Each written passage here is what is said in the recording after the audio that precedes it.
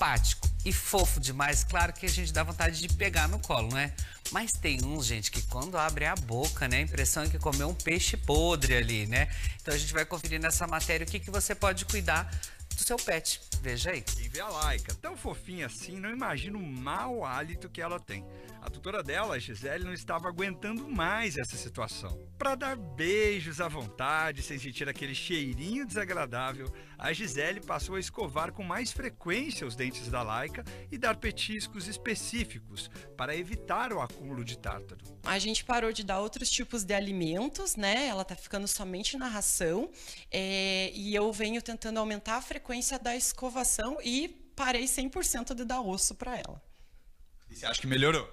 Melhorou bastante em relação tanto a não estar mais sangrando a gengiva, é, ela tem se alimentado melhor, por consequentemente o peso está controlando também, porque a gente evita dar coisas diferentes, né?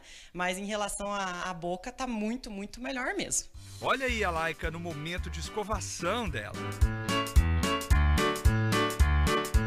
Das principais causas de mau hálito nos cães é a falta de higiene. Assim como a gente, eles também têm que escovar os dentes todos os dias. E a escova, ela pode ser aquela normal mesmo, a humana. Já a pasta, ela tem que ser um produto específico. E para ajudar os tutores, que aqueles cãezinhos que não gostam de escovar os dentes, tem sabor de carne e até de frango. A Laika, por exemplo, adora é limpeza igual nós humanos fazemos, né, no dentista.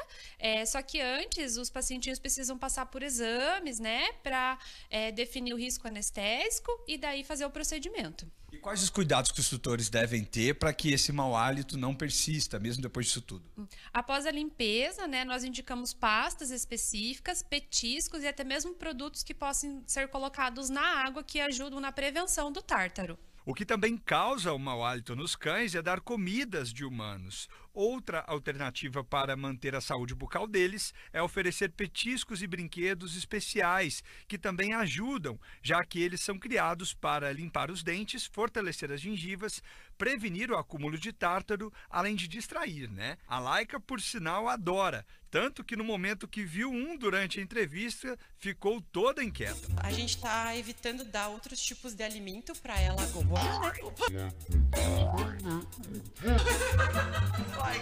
Quase engoli o microfone. É que ela tá me olhando com petisco. Para evitar que problemas maiores aconteçam, a recomendação é levar o seu doguinho para consultas com o veterinário entre 6 a 12 meses. Isso tudo para garantir um sorrisão bem cheiroso para eles. Olha só, né, para esses pets, né, que tem bafo. Fosse crime, gente, eles pegariam prisão perpétua, né? Agora você já sabe o que fazer em caso de bafo aí no seu pet, né? Vamos cuidar dos bichinhos direitinho, né? Bom,